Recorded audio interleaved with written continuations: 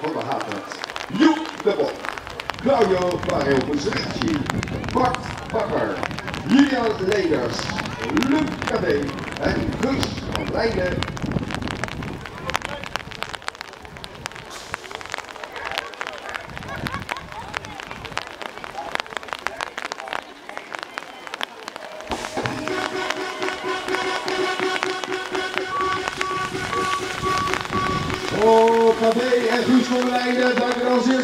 Eerste bocht in. Bart Bakker komt met hem mee op de drie. Bart Bakker agressief mee door de bocht heeft. Gaat heel aansluiting in de top 3.